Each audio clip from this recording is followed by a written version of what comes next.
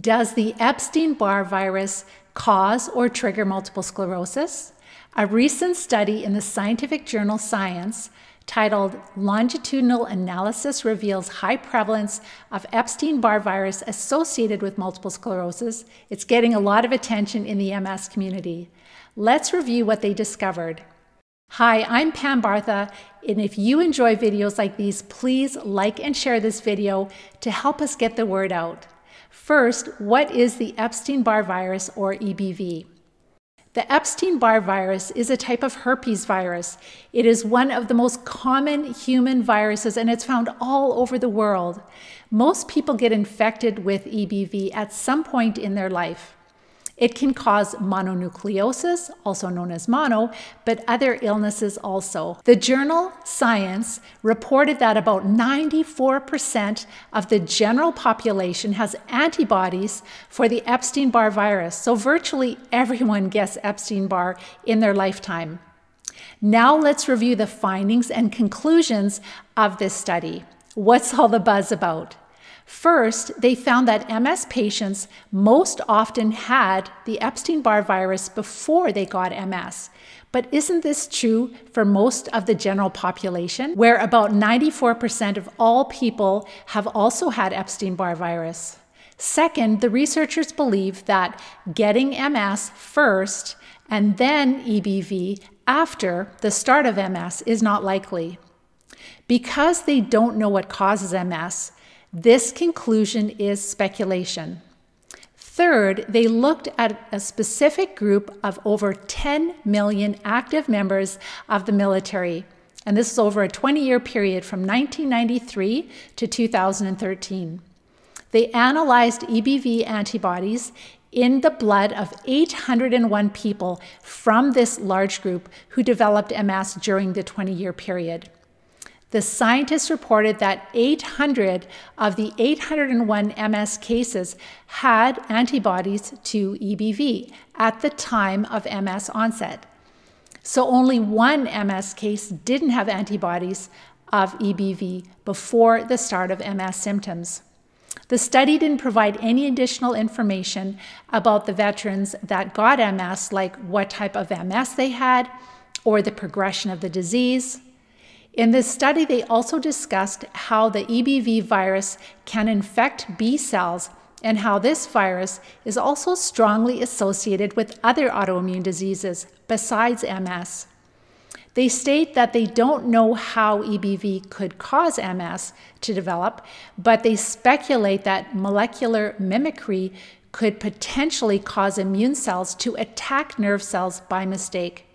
It's important to remember that this is a theory and it's speculation, it's not fact.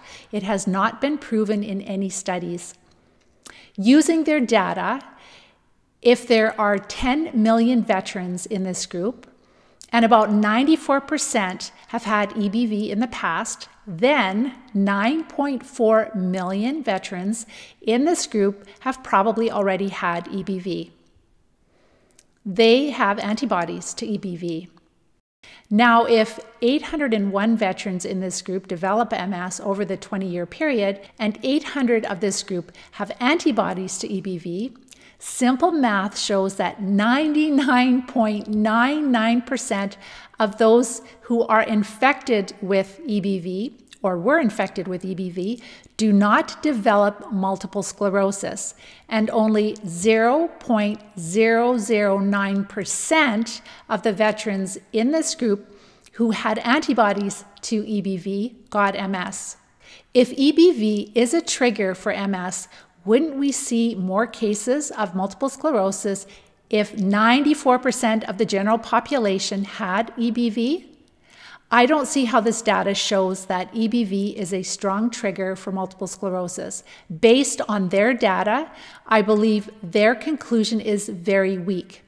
And if the evidence is so weak, why is the study being promoted so much and why is it published in such an important journal? From the MS Society website, the Executive Vice President of Research for the National MS Society stated this is an impressive study from a highly regarded research group that strengthens the scientific consensus that infection with Epstein Barr virus is a trigger for MS.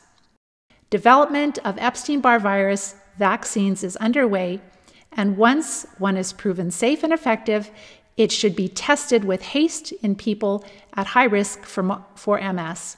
The MS Society also stated on their website the National MS Society invested in this study as part of its ongoing research commitment to ending MS. The following is from the Science website. There may be new opportunities for therapy. Would a vaccine for Epstein Barr protect against MS? Can the B cells that dwell in the central nervous system be killed or inactivated with therapeutics? Would antivirals that target EBV provide effective therapy, especially when given early in the course of disease? Now that the initial trigger of MS has been identified, perhaps MS could be eradicated. What? They've just assumed that they have identified the initial trigger for MS without any scientific consensus.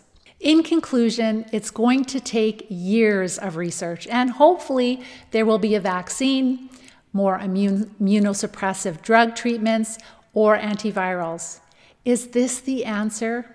Please share your comments. I want to know what you think. Do you feel this is promising research, or do you feel that this is more of the same? How MS has been treated for many, many years. Please don't forget to like and share and subscribe to get more videos like this. If you're frustrated with the fact that our standard of care still doesn't have a great solution for treating multiple sclerosis, then click on the link in the description of this video to watch my honest and in-depth conclusion of this study that I can't share here and discover real solutions that have allowed myself and many others to live free of MS symptoms.